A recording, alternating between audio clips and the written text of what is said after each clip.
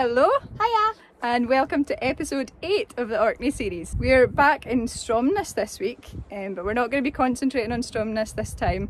We're going to be looking at the island that's lying just behind Jeana and I, which is the island of Graemsay. Graemsay is situated just in front of Hoy and uh, yeah, you can actually see some of the hills of Hoy just behind it.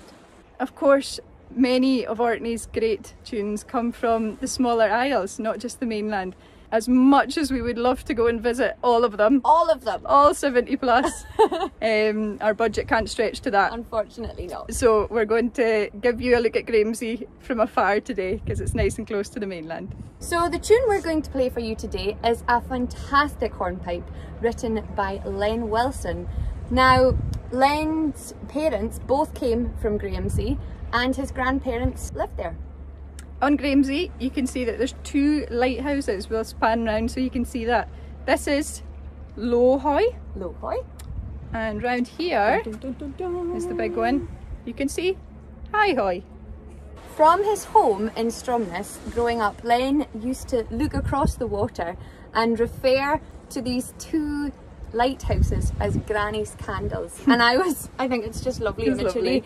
And I was speaking to Len um, the other day, and he actually said he would have to write a new tune and uh, call it Granny's Candles. So I'm really looking forward to playing that. Yeah, aren't we? Another good one. But meanwhile, we're going to stick on today's topic, and the name of Len's tune that we're playing for you today is known as the Hattie Man o' Ree. There's a peculiar rock on Graemsay. Very strange. Yeah, which looks like a man with a bonnet on his head, which is a hat to anybody who's not familiar with a bonnet. And uh, it's called the Hattie Man of Ree.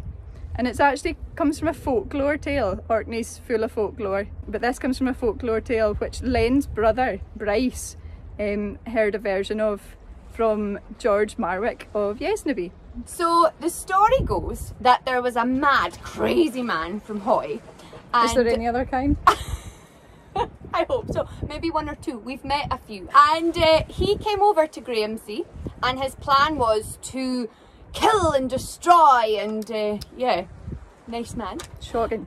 However, he got what was coming to him because when he stepped foot on the island, he turned to stone. The Hattie Man of Ree ran awa for Hoy, to rob and destroy, to spoil work where he starry, and put awa was starry men. But he was turned to a stain, and had to bide him lane.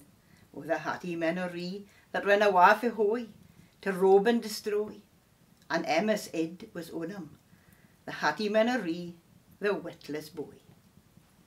That's lovely there to hear um, the poem in Orcadian dialect. I'm sure you understood every single word. yeah. There's a few we had to look up as well, so don't worry. We're going to move on now and play you the tune which Len wrote, the Hattie Man O'Ree. Fantastic hornpipe. Hope you enjoy it.